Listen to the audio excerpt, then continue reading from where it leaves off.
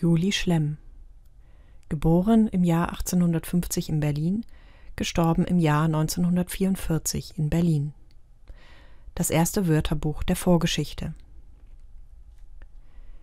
Die autodidaktische Archäologin schrieb 1908 im Alleingang das erste Wörterbuch zur Vorgeschichte, eine fast 700 Seiten lange und mit 2000 selbstgezeichneten Abbildungen versehene enzyklopädische Sammlung von Objekten und Funden. Hubert Schmidt schreibt in seiner Rezension Zitat Ein vortreffliches Nachschlagebuch, ein unentbehrliches Handbuch, das mit seiner literarischen Fundgrube einem jeden Prähistoriker willkommen sein wird. Zitat Ende. Es folgt eine Bildbeschreibung. Zu sehen ist der Prospekt, mit dem der Verlag das Wörterbuch bewarb. Das Digitalisat stammt aus dem Projekt Akte Eicher. Juli Schlemms Wörterbuch war ein Versuch, mit der großen Menge der Funde umzugehen, die um die Wende zum 20. Jahrhundert vorlagen. Es wurde zunehmend schwieriger, das Feld der prähistorischen Archäologie zu überblicken. Juli Schlemm hatte das aus eigener leidvoller Erfahrung erkannt. Das, Zitat, es großer Ausdauer und vieler Mühen bedarf, die weit verstreute Literatur zusammenzusuchen, um über die zahlreichen Formen der Gebrauchs- und Schmuckgegenstände vergangener Zeiten, über ihre mannigfaltigen Varianten, über Herkunft, Fundumstände und Zeit derselben Auskunft zu erlangen. Zitat Ende. Schrieb sie im Vorwort.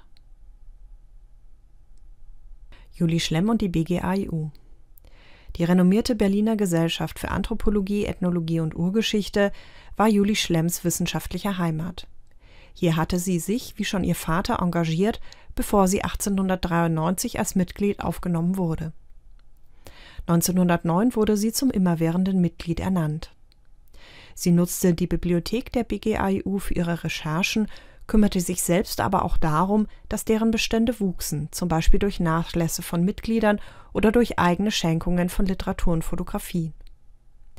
Wie viele Mitglieder der BGAU in dieser Phase, in der sich die Fächer gerade erst voneinander abzugrenzen begannen, hatte Schlemm sowohl vorgeschichtliche als auch volkskundliche Interessen. Juli Schlemm war ungemein fleißig. Sie reiste, rezensierte, berichtete, sie kopierte und fotografierte. Sie zeichnete nicht nur für ihre eigenen Veröffentlichungen, sondern auch für andere Forscher Archäologisches und Volkskundliches. Dabei galt sie als sehr fachkundig.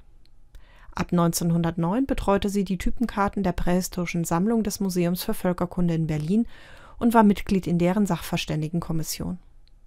Sie hatte auch ein wichtiges Amt im Verein der Sammlung für deutsche Volkskunde in Berlin inne die Autodidaktin. Judy Schlemm hatte sich ihre Kenntnisse in der prähistorischen Archäologie selbst erarbeitet.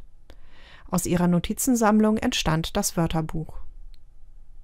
Zitat Bei der Lektüre der Berichte und Abhandlungen über prähistorische Funde, beim Hören der Vorträge in den Sitzungen der Anthropologischen Gesellschaft, bei den jährlichen Kongressen derselben, in den Museen und bei privaten Gesprächen mit Fachgelehrten drängten sich mir in Fülle Ausdrücke auf, die ich zunächst nicht verstand.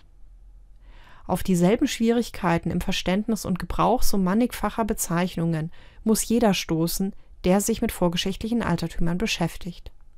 Diesen Leidensgenossen einen Dienst zu erweisen, war zunächst meine Absicht, als ich an eine Veröffentlichung meiner Notizen dachte. Zitat Ende. Von der Fachwelt wurde das Buch sehr gut rezensiert und auch international zitiert. Dennoch sind das Handbuch und seine Autorin heute weitgehend vergessen. Nur wenige Jahre später begann die Epoche der großen mehrbändigen Nachschlagewerke, die zunächst von akademisch ausgebildeten Männern verfasst wurden. Juli Schlemm entstammte einer wohlhabenden bürgerlichen Familie aus Berlin, die ein großes Interesse für Volkskunde, Anthropologie und Vorgeschichte pflegte. Sie war finanziell unabhängig, konnte sich Reisen ebenso leisten wie ihre private Forschung und die ehrenamtliche Betätigung in Fachgesellschaften. Es folgt eine Bildbeschreibung. Zu sehen ist ein Gruppenbild.